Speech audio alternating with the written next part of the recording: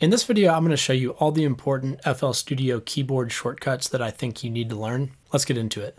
What's up my producer friends, I'm David with anothermonsterproductions.com. So a couple weeks ago I did a video which was called 10 tips for beginner producers and beat makers. And one of the tips in the video was to start learning all the keyboard shortcuts to speed up your workflow. And I got some requests to go ahead and do a tutorial on the keyboard shortcuts. So that's what this video is. Keep in mind, I'm going to include all shortcuts that I think are important and that I personally use, and then a couple extra that I don't necessarily use but I'm trying to implement into my productions to speed things up. I will be leaving a link in the description of this video to a document that you can download, print out, and then potentially even post it up on your, you know, behind your monitor or whatever to help you out with production. So let's get straight into it. All right, so the first few shortcuts that I want to show you are just general FL Studio shortcuts. Uh, and the very first one that I want to talk about is hitting the F1 key. So if we hit the F1 key, the manual for FL Studio is going to pop up. And depending on what you're in, so for example, I'm in the playlist right now, so it's going to jump to the playlist within the manual. And so if I were using Sytrus, for example, then it would open up Sytrus in the manual. And then I can go in here into the manual and search anything I want.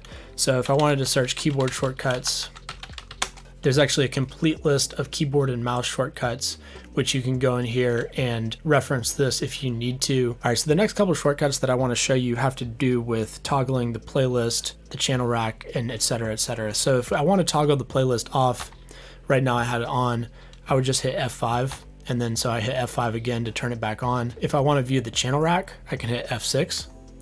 That'll pop up the channel rack and then once again I can hit F6 to get rid of it. Now keep in mind, I can also just hit escape to exit that as well. Now F7 is the piano roll. So if I hit F7, it's gonna bring the piano roll up and then I can hit F7 again to get rid of it, or I can hit escape to get rid of it. And then F9 is gonna be view the mixer.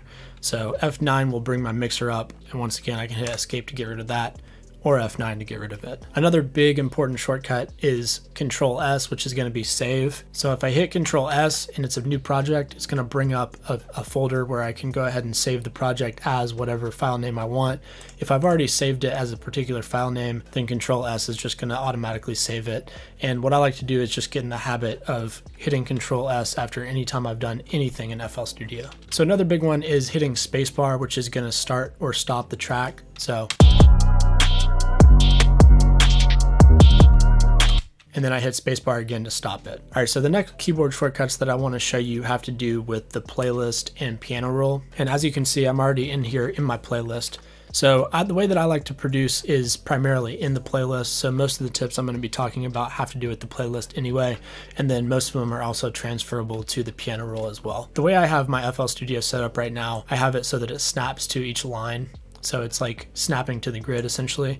And if you want to get rid of that, uh, let's say you want to move something slightly off the grid, then I can just hit Alt and then move it, and I can move it anywhere I want off the grid. So Alt plus click to move anything anywhere. And you can also do this in the piano roll as well. The next shortcut is Control and click. And this is going to allow us to highlight things within the piano roll. So this is going to save us a good bit of time so we don't have to go to our select tool every time we want to select something. And it actually works up here as well. So if I hit control and then highlight up here, I can also highlight stuff that way as well and then control and click to get rid of that. Now if I highlight something and I want to copy and paste it, uh, what I found the kind of the fastest way to do this is to go ahead and hit shift and then drag this and then you can drag it to where you want it to go. An alternative to that is you can hit Control C, which is going to copy it. And then of course, Control V will paste it. Now the thing about copy pasting with FL Studio is I actually have to bring this over here and then I can paste it. And then even still, sometimes it's not accurate. So another alternative to that is to hit Control B, which is going to bring it to the next place right after. So Control B is definitely better than Control V. And then what I like to do is just hit Shift and drag and do it that way and then I can bring it wherever I want. And keep in mind all of the shortcuts I just showed you also work within the piano roll as well. Now I just deleted a bunch of those clips but let's say I want to bring them back I can hit control Z to undo and that will undo one instance of what I just did. If I hit it again to try and undo multiple things it just goes back to the original so it's like undoing the undo. So if I hit control alt and Z I can undo multiple times. And I can also do that in the channel rack or the piano roll. Now let's say I want to select this, bring this over, uh, but I decide I didn't like it and it's still highlighted. I can go ahead and just hit delete on my keyboard to delete everything that's selected. Another really easy way to delete stuff is just to right click on your mouse.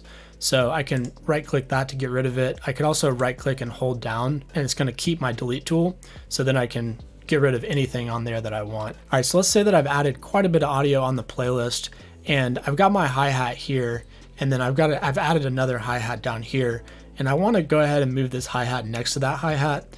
So if I hover over this track 7 and then I hit shift and I on the scroll wheel of my mouse I bring this up, I can bring that up to where that was and then I can go in here and I can rename this hi-hat or whatever I want. Now these tools that you see up here actually have letters assigned to them. You can see as I hover over them what each letter that is assigned to it. And this is actually kind of a quick hack. If you didn't know, any keyboard shortcut inside FL Studio, if you hover over it, is gonna show up in the top left-hand corner. So definitely something to keep in mind if you didn't know about that. But let's say that I wanna bring on the slice tool really quickly. So if I were to hit C on my keyboard, that would bring up slice. However, let me try that.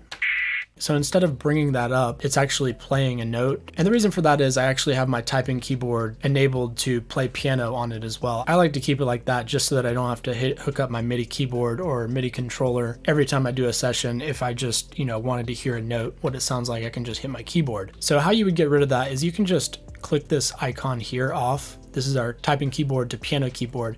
So if I turn that off, then I can hit C on the keyboard and it'll bring up my cut tool and then I can go ahead and cut stuff as I want to. Now, a couple quick shortcuts for you uh, as far as the cut tool goes. First of all, I can hit shift and then click and quickly cut something that way. Uh, and then I can also drag it down. So if I wanted to cut everything, I would just hit shift and then bring it down. It's snapped to the grid, so it cuts it very easily that way. Uh, let's say that I wanted to cut it actually off the grid a little bit. So I can hit alt and then bring it anywhere I want it.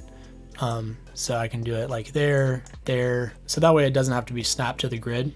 Now I can go ahead and hit B to go back to my paint tool. I can also hit P to go to my draw tool. And then if you utilize all the other shortcuts I've showed you so far in the tutorial, you shouldn't even need to know the rest of the keyboard shortcuts for these up here. So an easier way to kind of navigate through the playlist, if I click on my mouse wheel, and then I can go left, right, up, down, any direction on the playlist like that. It's just another way to quickly move around and navigate your way through your project. Now I can also hit control and then zoom in on the mouse wheel or zoom out. And then if I want to make these tracks bigger or smaller, I can hit alt and zoom in or out on there as well. Personally, I've gotten used to the default size, so I prefer the default size on there. And once again, those all should work on the piano roll as well. I'm gonna go ahead and move on to just a couple keyboard shortcuts in the mixer and then I'll do a couple in the channel rack as well. So the first one that I want to talk about in the mixer is that you can actually hit Alt and W to change from your decibel meter or your peak meter to waveform view. So at the moment, I don't actually have anything linked into the mixer except for on the master track, but you'll be able to see what it looks like on the master track. So let's take a listen. So then I can hit Alt W to change it back to the peak meter. I personally prefer the peak meter view just because it allows you to see the levels of everything. And then the other big mixer shortcut that you need to know is that when I highlight something on the mixer and then hit Alt and then you can use the arrow keys on your on your keyboard to move things left or right. So right arrow key, left arrow key. So you can move stuff anywhere you want within the mixer. All right, so the last two tips that I have for you have to do with the channel rack. Personally, I really don't use the channel rack that often, uh, at least like not the grid. But in case you do, there's a couple tips. Uh, let's say that you're drawing stuff out like this. I can go ahead and hit Shift, Control, and then arrow keys left or right to shift stuff either left or right on here. The other thing I can do is I can hit F4 to automatically bring up a new pattern, it's going to just go to the next available open pattern and then automatically I can go ahead and name it. Um, so that's kind of a cool little thing as well. Let me know in the comments down below if there are any other shortcuts that you feel are really important that I left out of this video. I hope this video was helpful for you. If it was, be sure to hit the like button. That helps out the YouTube algorithm helps me continue to grow the channel. Also, drop a comment in the comment section. Let me know if the video was helpful for you. And if you really want to help out, go ahead and hit the share button on this video and share this with your producer friends who use FL Studio. I do have a lot of other FL Studio and production related tutorials on the channel, so check all that stuff out if you're interested. Right now I'm doing tutorials once a week and those come out every weekend. So be sure to subscribe and hit the notification bell if you want to be notified. Also, last thing is that I do have a website with a couple packs on there. So if you want to check that stuff out, check out the packs. Uh, that will definitely help out the channel. I'm also offering one-on-one -on -one private lessons, so if you're really struggling with music production and you feel like you need a little bit of extra help, uh, definitely check that out. Also, I've got a couple of free things that I'm giving away in the description of this video as well. If you want to check out the video I was talking about at the beginning of this tutorial with the 10 tips for beginner producers and beat makers, uh, go ahead and click somewhere on the screen now. I'll be sure to put that up and you can check that video out and I will see you guys in the next video.